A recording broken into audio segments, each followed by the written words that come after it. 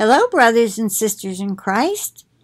I've been wanting to read the Sermon on the Mount for several days now, and uh, I decided I was going to go ahead and read it and make a video.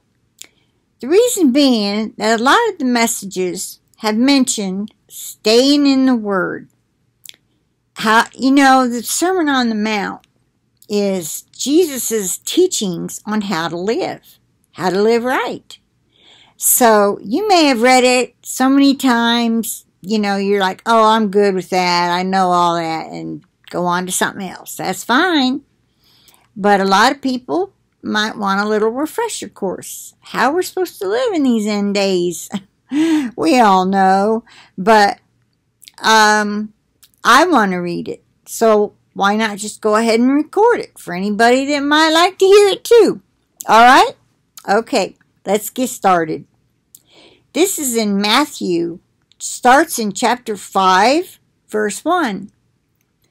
And I use the NASB because I like that it capitalizes the pronoun he and whom, and I know it's talking about God and not someone else. And sometimes that matters. All right and they like to give a title to each section. And this first section is called The Sermon on the Mount, the Beatitudes. And I'd like some, some of y'all's opinions on a couple of these things. So feel free to leave your comments. When Jesus saw the crowds, this is verse 1. If you'd like to get your Bible and join me, that would be real good. It'd be like a Bible study for you. When Jesus saw the crowds, he went up on the mountain, and the footnote says, or hill, and after he sat down, his disciples came to him.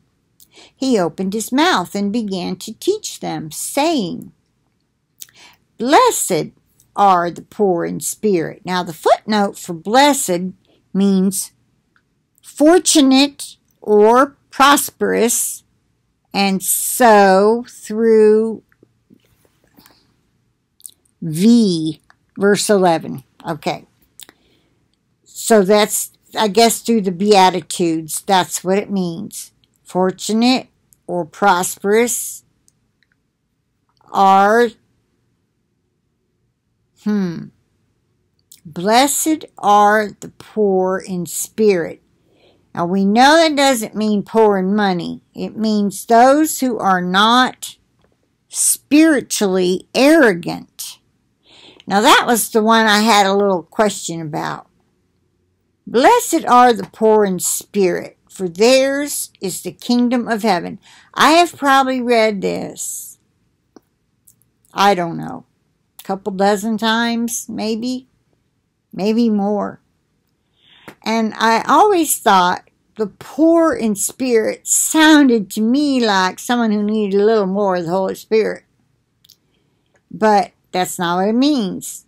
Clearly, it means they're not spiritually arrogant, according to this. Um, the people who did Blue Letter Bible. Jasper, what are you doing? What are you doing? Come over here where I can see you. Will you? Will you come over here where I can see you? My goodness. I don't know what he was doing. Scratching at something under the bed. Don't get under the bed. Yeah, you're such, it's like having a toddler around. Yeah, you are. Okay, now let me do this. Okay, no, don't mess with that. Let me put it over here. He's paper too. All right. Well, don't look at me like that. It's the truth. All right. Blessed are those who mourn, for they shall be comforted. Blessed are the gentle, for they shall inherit the earth. And the footnote is humble or meek for the word gentle. Blessed are the humble or meek, for they shall inherit the earth. We all should be humble and meek. But sometimes I think the word meek, I guess it doesn't mean mousy.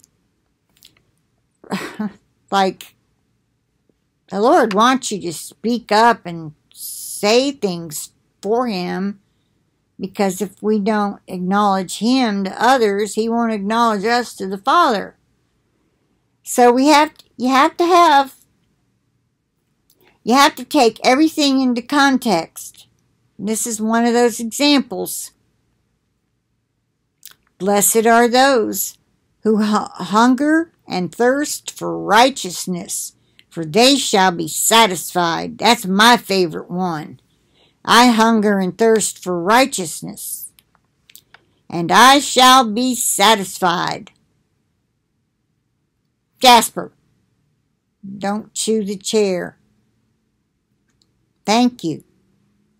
Blessed are the merciful, for they shall receive mercy. Blessed are the pure in heart, for they shall see God. Now, who are the pure in heart? Your heart is pure. I think of when, before you're born again, spiritually speaking, your heart is at least part black, stained, full of sins. Maybe some people only have a little bit. Maybe some people have a lot. Maybe their whole heart is black. Okay, we need to let God circumcise our hearts. That's in the scriptures. What happens when a baby gets circumcised? They take a little scalpel and they cut away that little bit of skin that is not needed and basically accumulates dirt. If okay, without getting too graphic, we need to let God circumcise our hearts.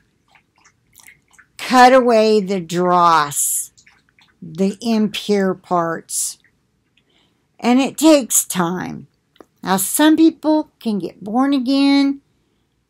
Bam! They quit smoking, they quit cussing, they start going to church, they get into their Bible, they they stop everything, you know? And at least for a while, they're so on fire for the Lord, they start telling all their friends, they tell their coworkers, they do everything right. You know, basically. And some people stay that way, but that's not that's the exception rather than the rule. Most of us give up the big stuff, but we have to work at the smaller stuff you you know I, I take my ex-husband the third one. He stopped cussing and using bad language just like that. And he didn't use it a lot but he did enough that it was you know i'd have to say something or just ugh, cringe you know because i didn't want to harp What are you doing? He must be bored. Don't you have enough toys, baby? Go get your toys. Go get your toys. Go get your golf balls. Yeah, he's got golf balls he loves to play with. Go get your golf balls. Go get your golf balls. Yeah, I'll help you. I'll throw them down there for you, and you can go get them. Yeah, you have to go get them. All right, let me finish. Okay, so blessed are the pure in heart, for they shall see God. Let's all get rid of our sins and be pure in heart. Okay, and I know we all mess up every day. I do. Either it's complaining or it's maybe a thought of doubt, uh, which a lot of times I'd say, I rebuke you, Satan, in the name of Jesus. Get out of here. I say that even though I know it's a demon. Or I'll rebuke you, impure, lying spirit. Get out of here and stop trying to put lies in my head. Don't accept any lies from the enemy, doubt and unbelief. That grieves the Lord, okay? So then you say, I'm sorry, Lord, I bought into that. I'm sorry that I was thinking of that, you know, whatever. It may be just a little bitty sin, but if you think it grieved the Lord, just ask Him to forgive you. It's not a real big deal. Now, if you go out and you do something really big, you know, you just ask, you're still forgiven. Sin is sin. But the big stuff you plan, you, you oh, you have to learn to cut that, nip that in the bud, and don't don't do it. All right, let me move on. Because that happens to Christians. It can happen because Satan is going around like a lion, roaring like going. I can't think how it's worded. Satan roars about like a lion, seeking whom he may devour. He wants us, not the lost people. Course, he does whatever he can to keep them from wanting to hear anything we tell them. All right. Blessed are those who have been persecuted for the sake of righteousness, for theirs is the kingdom of heaven. Blessed are you when people insult you and persecute you and falsely say all kinds of evil against you because of me. Rejoice and be glad, for your reward in heaven is great for in the same way they persecuted the prophets who were before you.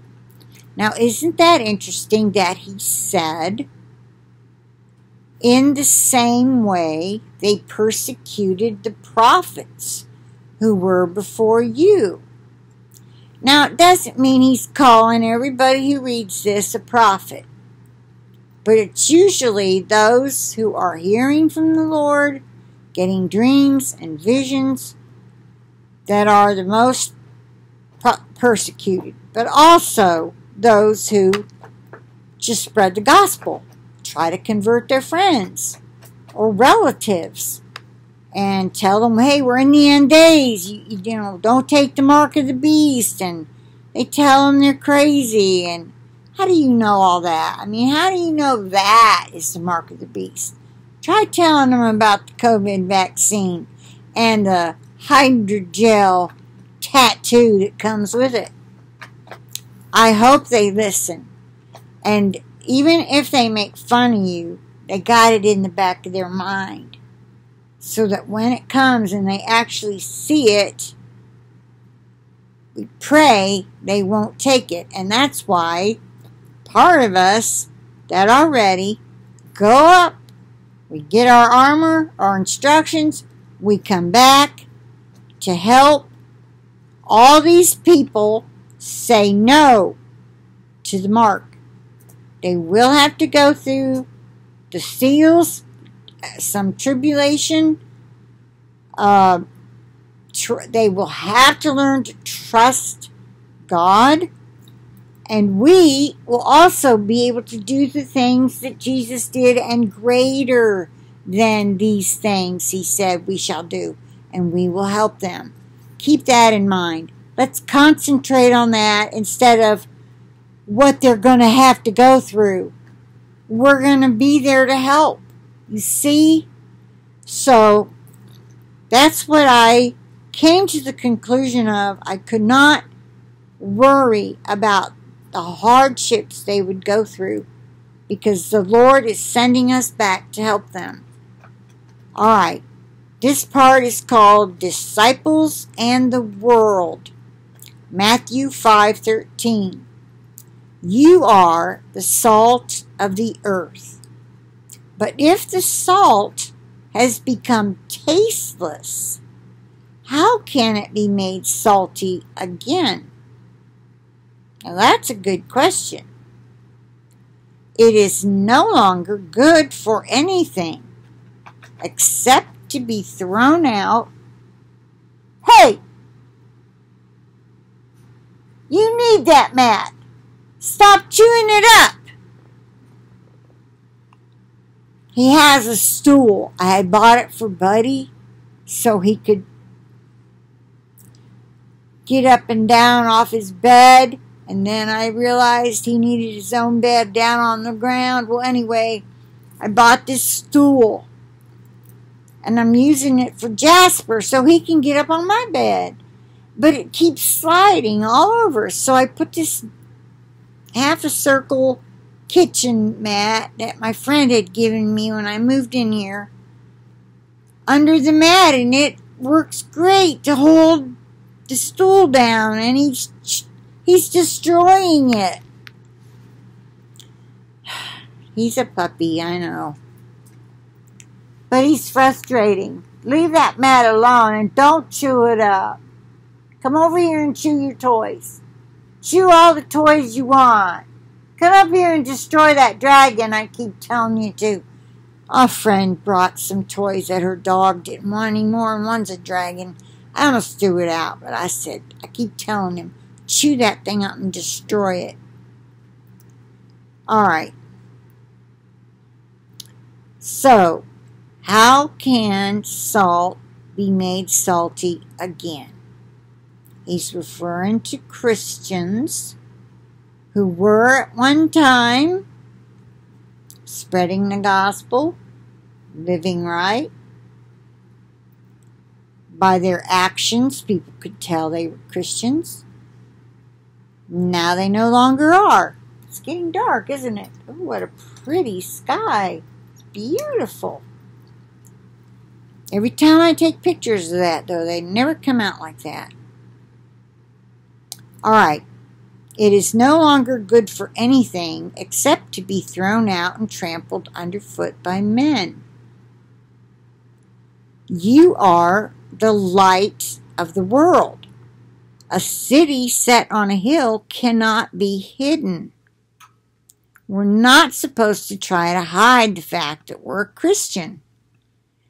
We're supposed to show the world our light.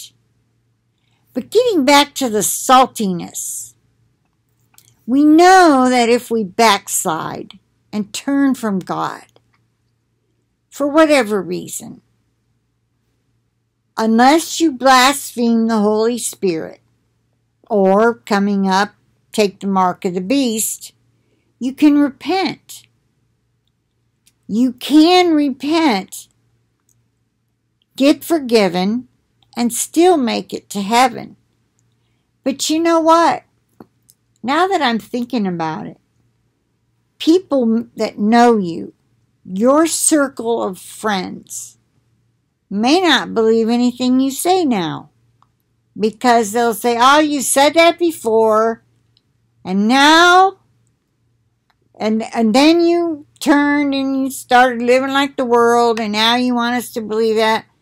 I'll forget about it. I'm, I'm not hearing it. You see, that could be what it means. You, you, you might not have any, you're already, we already don't have much influence in our family or friends because the Bible says a prophet is not without honor except in his own family and with his friends, something like that. So people outside of your circle of friends and family will be more likely to pay attention to you than those who know you. That's the only way I take it. If anybody can give me another explanation, that is fine. Please put it in the comments. All right, so city, we talked about uh, city set on a a city set on a hill cannot be hidden, nor does anyone light a lamp and put it under a basket or peck, a measure, but on the lampstand, and it gives light to all who are in the house. Let your light shine before men in such a way that they may see your good works and glorify your Father who is in heaven. It's nice to be anonymous when it comes to giving. Learn, learn, learn of this. Let your light shine before men. Okay. You don't have to think you gotta be anonymous in everything that you do. I understand people might want to give to somebody money or even a big barrel of food and they don't want credit. They don't want anybody to know. And they do it in the middle of the night and pray no dogs get into it or whatever. And they get the food and they don't know who did it. But this is saying, let your light shine before men in such a way that they may see your good works and glorify your Father who is in heaven. Here's one of those verses where the once saved, always saved, talking about we don't have to do any good works. Uh, you, well, it depends on who you're talking to. A lot of some of them will say, "Well, we do good works because we love God, because we do love our brother or sister. We do love people as we love ourselves, not because we have to." Well, that's true. See, some of them are only partially once saved, always saved. Others have a, uh, it's a mixture, or is that that redundant? Anyway, the Lord is telling us to let our light shine before men so that they may see your good works and glorify your Father who is in heaven. This is Jesus talking. Jesus did his good works on the Sabbath or wherever he ran into somebody sick. He didn't whisper, hey, meet me in the cave over on blah, blah, blah, blah, blah. You know what I'm saying? He did it in front of everyone so they would know that he had the power to do these things. So that when he said, Your sins are forgiven, they were more apt to accept it. He said, Do not think that I came to abolish the law or the prophets. I did not come to abolish, but to fulfill. For truly I say to you, until heaven and earth pass away, not the smallest letter or stroke shall pass from the law until all is accomplished. Remember, now some of you may not have heard this. Many scholars, even YouTube people, have figured out that Matthew was written to the Jews. Mark was written to the left behind church. And Luke was written for the bride and those who shall be found it says, Luke 21 36, pray that you may be counted worthy to escape all these things that are to come upon the earth and to stand before the Son of Man. I look at that as a bride standing in front of her groom. That's how I take it. Feel free to leave your interpretation. You're standing before the Son of Man. Of course, once everybody gets in heaven, eventually you will all be standing in front of the Son of Man at some point. All right. Whoever then annuls one of the least of these commandments and teaches others to do the same shall be called least in the kingdom of heaven. Doesn't say they'll go to hell, but keep listening. But whoever keeps and teaches them, he shall be called great in the kingdom of heaven. They had 613 laws they had to keep, not just 10. For I say to you that unless your righteousness surpasses that of the scribes and Pharisees, you will not enter the kingdom of heaven. Let's see where I'm at here. 25 minutes. All right, maybe I, I'll finish chapter 5 and then make a part 2 on it's like 3 chapters. This section is called personal relationships. Need another drink of water.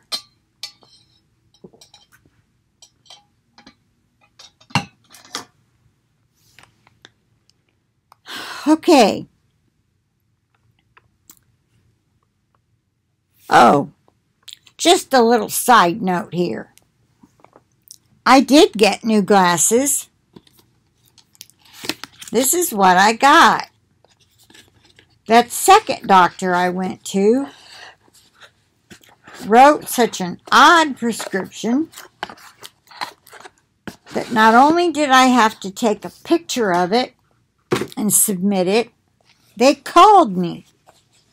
They wanted to make sure those numbers were right. And this is what I ordered online at I buy EyeBuyDirect. Now, the doctors were trying to tell me my left eye could not be helped with glasses. Well, they made sure of it. I should not have told that doctor to the other doctor I went to. It just slipped out. They were probably buddies. If I close my left eye, I can read fine with this glass, with these glasses. If I close my right eye, I cannot. I've written to them asking could I please still return them because I was going to do it Monday and then my heart did its thing and I uh yesterday the 31st was the last day to return them. So I wrote them yesterday and maybe they'll let me. Anyway, so I did did go to a second eye doctor and I did get glasses and I want to show you these old Dollar General glasses that are like 2.0. I can look outside and see perfectly with them. But to read with them, I have to get real close. But I can read with them. Isn't that something? Anyway, back to the scriptures. I think they're in cahoots together. They'd rather have me have surgery. Personal relationships. That's just how I am now. I could be totally wrong. You have heard that the ancients were told. Okay, that's Moses and that group got the commandments Moses got them all. The first five books were supposedly written by Moses. Matthew 5:21 says, "You have heard that the ancients were told, you shall not commit murder." That's the fifth commandment, if I'm not mistaken, or sixth. See, I learned them as a Catholic, and they're different. They're one off. There's four and then six. Anyway, you shall not commit murder, and whoever commits murder shall be liable to the court. But, verse 22 says, But I say to you that everyone who is angry with his brother shall be guilty before the court, and whoever says to his brother, you good for nothing, shall be guilty before the Supreme Court. And whoever says, you fool, shall be guilty enough to go into the fiery hell. Therefore, if you are presenting your offering at the altar, and there remember that your brother has something against you, your brother has something against you. Leave your offering there before the altar and go. First, be reconciled to your brother, and this could mean anybody your sister, your mother, your best friend, your coworker, anybody. It's saying brother. I'm sure it doesn't mean your sibling. It has to mean, at the very least, your Christian brother. Why don't we do this? I'm going to click Tools and I am going to look up other possible meanings of brother. If you are presenting your offering, let's see, remember your brother. Okay, Ad, Adelphos. It's G80. Adelphos. Masculine noun. All right, and it's brethren, brother, brothers, apostrophe S, brother's way. All right, now the outline of biblical usage is a brother, whether born of the same two parents or only of the same father or mother. Two, having the same national ancestor, belonging to the same people, as in fellow Israelite or countryman. Three, any fellow or man. Four, a fellow believer, united to another by the bond of affection that's like brothers and sisters in Christ.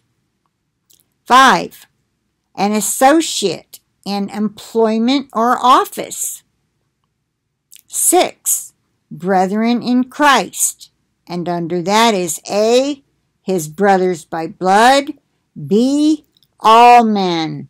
C, apostles. D, Christians, as those who are exalted to the same heavenly place. So, can we agree it pretty much means any fellow or man? All right, go back. Any person. Whoops.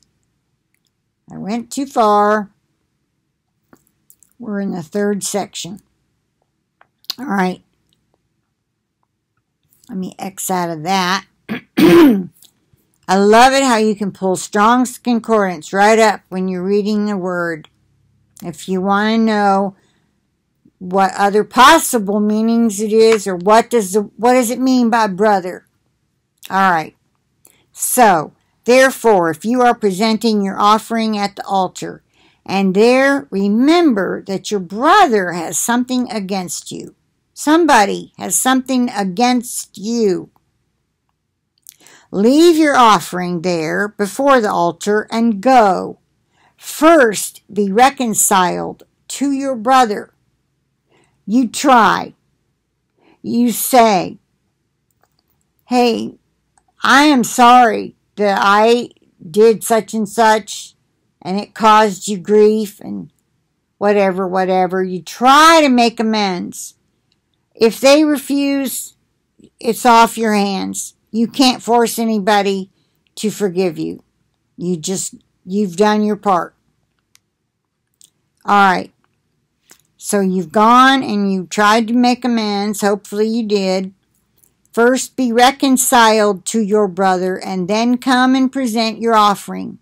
It doesn't mean you never have to offer another thing to the Lord because they won't forgive you.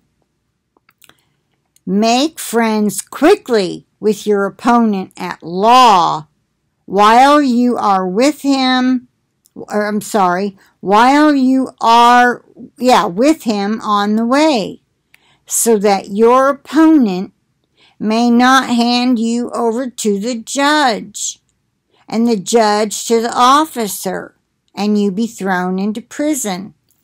So here it sounds to me like you're the you're the guilty party and you're about to go into court with the man who's suing you.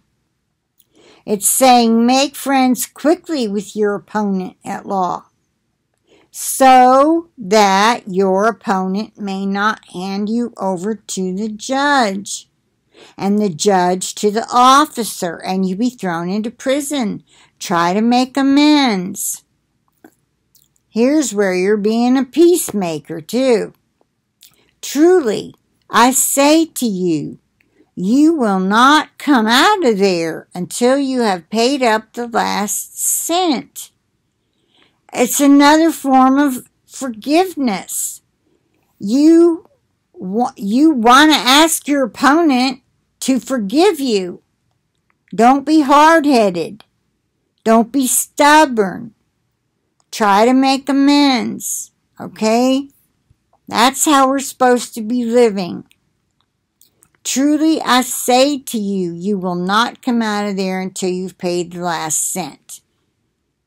You know, it says, it's real tiny, literally quadrans equaling two mites, for example, like of a daily wage. Oh, you see, in other places, denarius is considered a day's wage. Well, anyway, you won't get out of there until you've paid the last cent, whatever, however much the opponent says you owe him. All right. Now, verse 27 You have heard that it was said, You shall not commit adultery. Again, another one of the Ten Commandments. Some people think that's all the laws they had. No, uh-uh. But he's using them as examples here. But I say to you that everyone who looks at a woman or woman at a man with lust for her has already committed adultery with her in his heart. Or woman with a man has committed adultery with him in her heart. Don't do it. If your right eye makes you stumble, tear it out and throw it from you. For it is better for you to lose one of the parts of your body than for your whole body to be thrown into hell. Well, we know we're not going to really pluck our eye out, right? So, what do you think? this means. I would like to hear your comments on it. If you feel like putting one, tell me what you think this means because we know it means not really your eyeball. You're not going to cut your eyeball out. People will lock you up for good in the loony bin. I'm sorry, I shouldn't have called it that. In a mental institution because that's just not right. Jesus is using, metaphorically speaking, your right eye. All right, how is it that you lust after a woman? Could be you sit in the park, you watch her all day, you watch people all day, you you watching for someone. Ooh, well, there's one, and you let your mind wander. That's one way. But how do most people do it? Nowadays, it's on television or computer or tablet or cell phone. So, how do you not do it then? If you have to, you throw out your device or you cut off the TV. You don't allow yourself to even engage in that activity and turn to your word. That's one way. Y'all feel free to tell me whatever else way you think it means. If your right hand makes you stumble, cut it off and throw it from you, for it is better for you to lose one of the parts of your body than for your whole body to go into hell. Again, it's metaphorically speaking. I think that's the right word. You don't really cut off your right hand, so what does it mean? What do you think it means? I'd like to hear from you. That's verse 30. It was said, Whoever sends his wife away, let him give her a certificate of divorce. Well, I looked that up, and all a man had to do if he found her to not be such a good wife, or he found her to be, um, what was unchaste, so I guess flirtatious with other men, maybe even sleeping with them. I don't know. It, didn't spell that out, but you can look it up. It's in Deuteronomy where it lists the laws. Okay, this was a law where a man could write her a writ of divorce. He had to hand it to her. She had to accept it. Well, uh, he handed it to her and sent her on her way. Now, I say to you, verse 32, but I say to you that everyone who divorces his wife, except for the reason of unchastity, makes her commit adultery. That's if she remarries. And women back then, especially, how did women support themselves? Some had a skill, like uh, Lydia, who was the maker of purple. She knew how to make purple dye and uh, weave fabric and dye it purple. And that made her a living. But not all women had that skill. There weren't a lot of skills for women, but baking, well, you think about it. It's not a lot. They didn't have vocational schools and colleges for women back then. All right.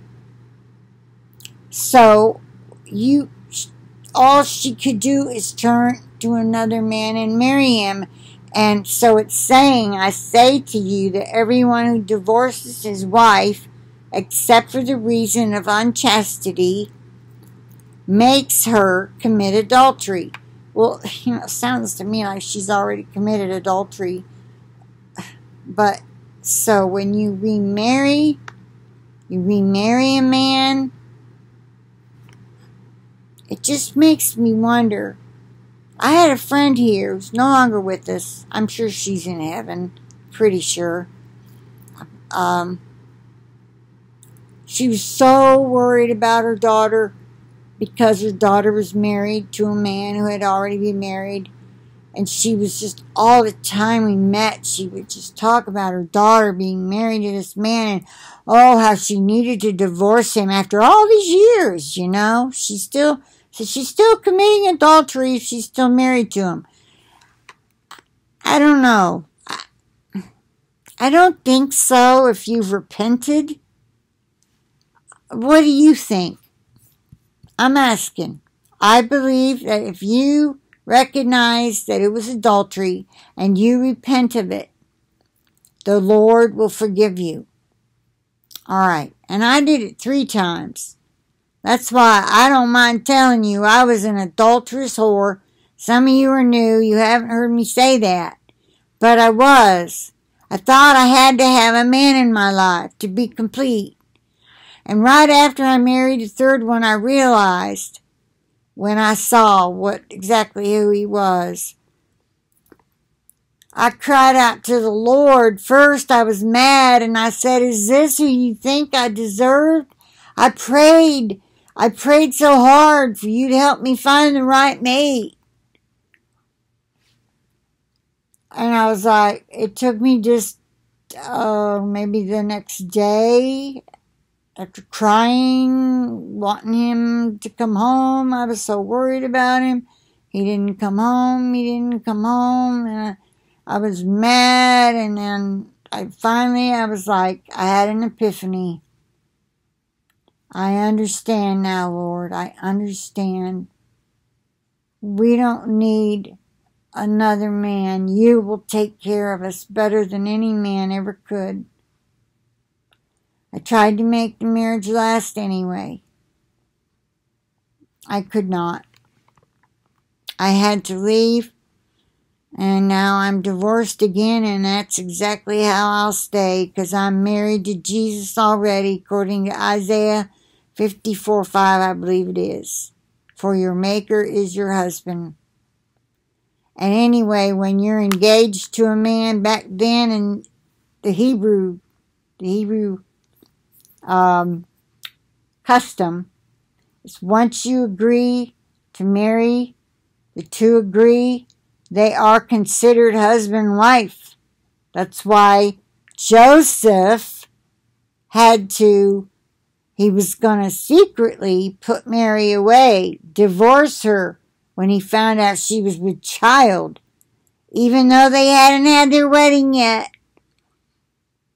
He found out she was with child, and then he had the dream, of course, that said, Joseph, don't be afraid to take Mary as your wife. She is with child from the Holy Spirit. Anyway, moving on. So, when you divorce your spouse, I hope uh, we're so to the end. So, Surely none of you are planning a wedding for any time soon. If it's your first, neither have been married, go ahead and go for it, but we may not be here for it. Alright. Make sure you love Jesus most. If you love Jesus most, let's say here's the woman, here's the man. You both love Jesus most. You're both loving him most, then your bond, I know this is the Illuminati symbol, but it's also like husband, wife. Well, I guess it should be an upside down. Anyway, you're, you're, you're a stronger bond. Okay, let's do it that way. All right. Again, you have heard that the ancients were told you shall not make false vows. Now, see, this is not one of the Ten Commandments. Um, all right, you shall not break your vows. Well, okay, if you make false vows, then it means you're going to break them. But shall fulfill your vows to the Lord it's talking about promising the Lord. Oh Lord, if you give me a good crop this year, I will give above and beyond my 10%. That's what a tithe is. And that is an Old Testament law. We should all be givers according to how God has blessed us. Okay. He said, you, okay, you were told you shall not make false vows, but shall fulfill your vows to the Lord. But I say to you, make no oath at all, either by heaven, for it is the throne of God, or by the earth, for it is the footstool of his feet. Can you imagine that? I tried to imagine that the other day. God sitting on the throne and his legs stretching out so far that the earth was his footstool. And I thought, that's some crazy long legs you got there, Lord. I mean, seriously. So is that a metaphor? Is that there's another word I'm trying to think of, and I can't think of it. It's a, a grammar word. Uh, I can't think of it. Well, somebody might be saying it right now, whoever's listening. Okay. I thought about doing this live, but I'm glad I didn't because all the chatter on the side, the chatting, it's distracting. I don't know why so many people go live, um, especially when you're giving a prophecy. So distracting. Um, for it is the footstool of his feet, or by Jerusalem, for it is the city of the great king. So don't swear by anything like that. Nor shall you make an oath by your head, for you cannot make one hair white or black. But let your statement be yes, yes, or no, no. Anything beyond these is of evil or from the evil one. I swear on my father's grave I am not lying. You see, that's what he's talking about. You have heard that it was said, an eye for an eye and a tooth for a tooth. I looked that up in my Bible. I got it marked. Uh, that is a law, okay? Um, if someone killed your loved one, you were allowed to kill them. I mean, it was a body, a life for a life. I think, but mostly it pertained to animals. If you somehow killed someone's animal, you had to give them an animal. Uh, but I'm not sure exactly how it's worded. But anyway, it's an eye for an eye and a tooth for a tooth. But I say to you, do not resist an evil person. But whoever slaps you on your right cheek, turn to him the other also. That's hard. Turn the other to him also. If anyone wants to sue you and take your shirt or a garment worn next to this, the body, a tunic, you might have heard it here, heard as a cloak, let him have your coat also. And that is an outer garment. Whoever forces you to go one mile, go with him two. Now I learned this from Pastor Mark. He was our Mark Carell. You can look him up on here. He's got his own YouTube, Mark Carell Ministries. He talks so fast though. So if you like people that talk fast, he's I don't agree with him on everything. I loved him as my pastor he was my pastor of the Assemblies of God. And he's very smart, and he didn't even have to go through seminary. He was self taught by the Holy Spirit, you could say. Taught by the Holy Spirit. I think he had to go before the board and do an oral exam, and he passed with flying colors. I'm pretty sure he said he's very smart.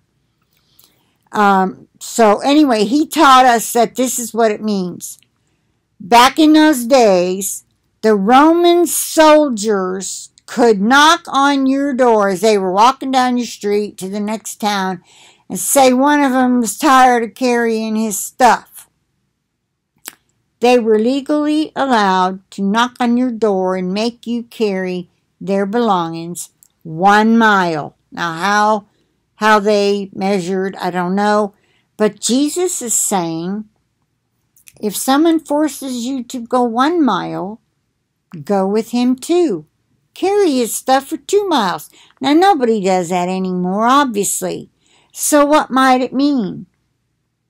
Maybe somebody is hitchhiking and you feel led by the Holy Spirit to pick them up. And the man says, Well, I'm going pretty far, but if you could just get me to the next town where I can get something to eat, uh, I would appreciate it, and then I'll get a ride from there. Well, maybe you could pray about it while you're driving him there, and if you can, maybe you can drive him on to the next town. Okay, so you might look at it that way. All right, and maybe y'all can think of some other examples of how we can If someone forces you to go one mile, go with him too.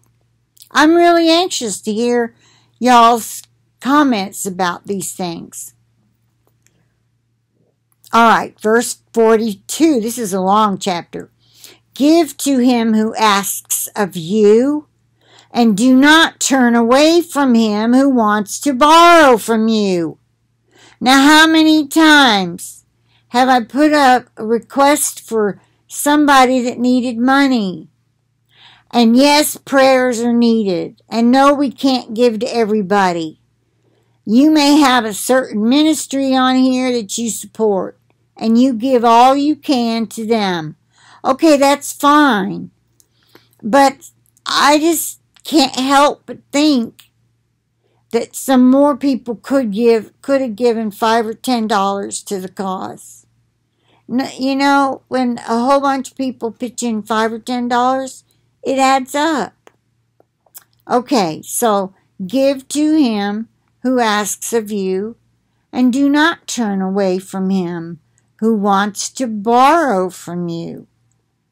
Now, somewhere in, I believe it's Proverbs, there's a scripture that says, let, let me look it up. File, new tab. Help me not get off track, Lord. Okay. Neither uh bar huh, turned right up or lender B. I want to know where this verse is The meaning and usage. All right. Um, oh, come on. I'm talking about Hamlet. No, it's in the Bible. This is a famous phrase said by Polonius in Act 1, Scene 3 of Williams. Neither a borrower or a lender be. No, let's go back. I'm going to put scripture.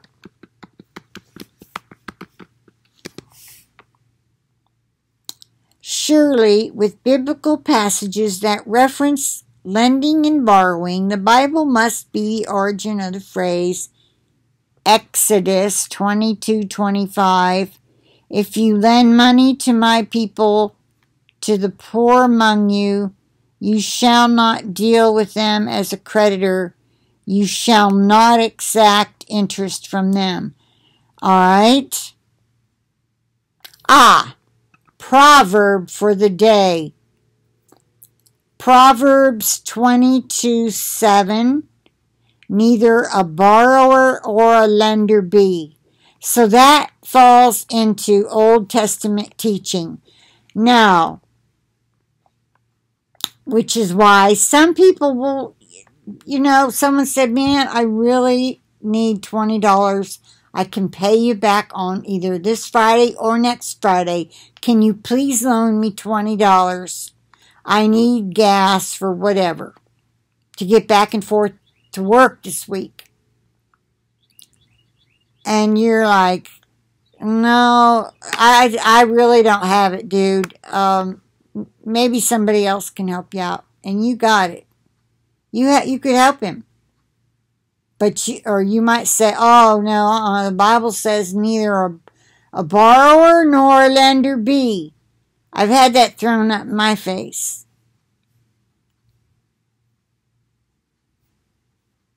Anyway, let's move on. If you can, you loan. If you can't afford to give. If you can afford to give, give the money outright. All right. All right, where am I? Now, you have heard that it was said, You shall love your neighbor and hate your enemy. Really? Let me go to tools. Hate your enemy? Where's references? Cross references. All right. Probably. All right, let's try Deuteronomy. Let's see Deuteronomy 23 6. All right, I'm going to open a new file, new tab, Deuteronomy 23 6. I don't think I copied it. D E U T, Deuteronomy 23 6. I may have to Google it. There's several references. Thou shalt not seek their peace nor their prosperity all thy days. No. No, no. And hate. Psalm, Psalm, Psalm. Let's try Deuteronomy 25 17. Copy. Paste. Go. Remember what Amalek did unto thee by the way when ye were come forth out of Egypt. Nope, it's not it. All right, um, I'm afraid I'm going to get lose track. Ye have heard that it was said, and hate thine enemy. Ooh, now my computer's jumping around. All right, Moses built an altar and named it, The Lord is my banner. And he said, The Lord has sworn, the Lord will have war against Amalek from generation to generation. I think those are Nephilim. You shall never seek their peace or their prosperity all your days. Remember what Amalek did to you along the way when you came out from Egypt. But you, O Lord, be gracious to me and raise me up that I may repay them. Do I not hate those who hate you, O Lord? Do I not loathe those who rise up against you? I hate them with the utmost hatred. They have become my enemies. Okay, that's Psalm 139 22. Oh, these are different verses. Do I not hate those who hate you? Is Psalm 139 21. But you, O Lord, be gracious to raise me up, to and raise me up that I may repay them. Is repay does not mean pay them back with money. It means to smite them, repay them. What they did to me, let me do to them. Psalm 41:10. Deuteronomy 25:17. Remember what Amalek did to you along the way when you came from Egypt. Deuteronomy 23:6. You shall never seek their peace or their prosperity all your days. They were to hate them. Well, no wonder they were gi- uh, some of them were giants. Okay. So, he says Oh, man, I went way high up. Okay, let's exit out of that. You have heard it said, You shall love your neighbor and hate your enemy. But I say to you, Love your enemies and pray for those who persecute you. Now, having said that, I'm sure the Lord meant your enemies as in mankind. We do not have to pray for Nephilim or demon filled people, not humans who are demonized or oppressed or even possessed. Those are the people that end up in mental institutions because most people do not know how to recognize a demon possessed person. They're hearing voices. They're either being told to kill people or their self, so they're always hurting themselves.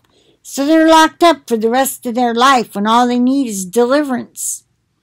Okay, let me get on because I know this is long. Wow, it's past an hour. Thank you, Lord. Okay, I will feed you in a few minutes, Jasper. He's being so good, he's laying at my feet. You have heard that it was said, You shall love your neighbor and hate your enemy. But I say to you, love your enemies and pray for those who persecute you, so that you may be sons. Okay, B has show yourselves to be sons of your Father who is in heaven. For he causes his sun to rise on the evil and the good, and sends rain on the righteous and the unrighteous. So, We really don't know what is in people's hearts when they do something to us and make fun of us. They may be jealous or want what we have. And instead of asking, How can I have what you have? I want to live like you. I want to have joy like you. They make fun of us and persecute us. The, this next verse, 46, says, For if you love those who love you, what reward do you have? Do not even the tax collectors do the same? If you greet only your brothers, what more are you doing than others? Do not even the Gentiles do the same? Hmm. Gentiles. I'm going, I was going to click on that way at the bottom. I want to know if he means everybody but Jews, and I'm pretty sure it does. Um, heathen, heathen man. So, I guess in like for our day and age, you could say that it's the heathen, not a, there are no Gentiles now, but back then the Gentiles were considered heathen anyway, even if they lived a good life. Basically, nice to people. Okay, so it says adapted to the genius, genius, or customs of a people, peculiar to a people, or national. Two, suited to the manners or language of foreigners, strange, foreign. Three, in the New Testament, savoring of the nature, savoring, okay, of the nature of pagans, alien to the worship of the true God, the heathenish. And under that is a capital A of the pagan, the Gentile. Okay, they don't know God, they don't know any better. All right. So they're saying, uh, if you greet only your brothers, Jesus is saying, what more are you doing than others? Do not even the Gentiles do the same? Therefore, you are to be perfect as your heavenly Father is perfect. Now that gets some people because they know they're not and they've been trying to be. And like me, I've been a Christian all my life, just about. I was 17. And I started off not very good, but when I turned 20, I got filled with the Holy Spirit. My life turned around for two years. I was really close to perfect. I quit smoking. I didn't smoke a whole lot before that anyway, so it wasn't hard, but still, I quit smoking. I didn't drink. I mean, if yeah, I did drink before that. See, even after I was saved, that's when I, because you can't drink till you're 18. Back then in Ohio, you could drink low beer, what they called low beer. And my boyfriend, who turned out to be my husband, would take me to his favorite little hangout where he could play pool with his buddies and I could drink low beer. Yeah. I never got drunk he never bought me more than two, I don't think. But I don't remember ever staggering out of there. But I have been drunk once or twice. I didn't like it. Praise God for that. And I was allergic to marijuana. Thank God for that. Yeah, that was pushed on me too. Anyway, here I am. I'm 65 years old and I still need more discernment. I still want more wisdom. I still need to have a better mouth. There's a song about, oh, it's from Isaiah, touch my coals. Oh, Lord. Uh, and I sing that song and I touch my mouth like this. I want him to take coals and make my mouth where I never uh, say an angry word or a complain or uh, gossip or anything. Anything that would grieve the Lord. I should, you know, at some point you'd think we would be perfect. But when in this fleshly body, you know, that hurts, and when you lack sleep or you lack food and your belly's so hungry and somebody, maybe you're a driver and somebody pulls out in front of you and you flip them off. You didn't mean to, but you've had a really bad day, and what do you do? Oh, God, I'm so sorry. Please forgive me for that. I am so sorry. If I could find them, I would apologize. That's what you do. And the sin is gone. So you're back to being clean, clean heart. Remember, let God circumcise your heart. You let your heart stay clean. How do you keep it clean? You repent. You ask forgiveness immediately, as soon as you realize. Now, some things you may be talking with some friends, and it might be two hours later that it hits you. Oh my gosh, what I said, that was, that was gossip, wasn't it, Lord? I'm so sorry. I'm so sorry that I, I gossiped with those women. You know, something like that. But we're trying. You're trying to put to death the evil deeds of the flesh. You're putting to death the flesh. The more and more perfect you become, the more apt you are to be counted worthy to escape all these things that are to come to pass and to stand before the Son of Man. Luke 21 36. So now I'm at the end of Matthew 5. I'm going to say, I plead the blood of Jesus over this video and let it go up. Ugh. And I plead the blood of Jesus over each and every one of you and myself, our devices, and our internet connections. And tomorrow I will come back with part two of the Sermon on the Mount so we can stay in the Word and know and be reminded of how we are supposed to be living to prepare for to be caught up in the first rapture when we go outside of time to get our glorified body, our heavenly armor, and our instructions to come back and help our loved ones and whoever God has for us to heal, bring back from the dead, to feed the multitudes. Who knows? Who knows what He's going to have us to do? I'm sure there's going to be a lot of work, but you know what? We will never get tired. For they who wait upon the Lord shall renew their strength. They will rise up on wings as eagles. They will run and not get weary, and they shall walk and not faint. That's Isaiah. Okay, I got to tell you now. I should know it. I have it on a bookmark somewhere. I'll find it.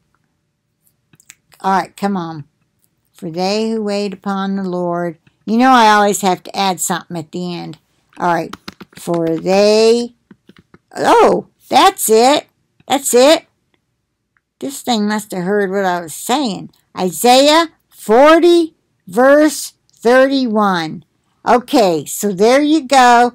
I love you all. Thank you for your prayers. And uh I like I said, I'm going to I hope I can finish up all of the Sermon on the Mount by tomorrow night. Okay, I love you all. Bye for now. I shall talk to you later.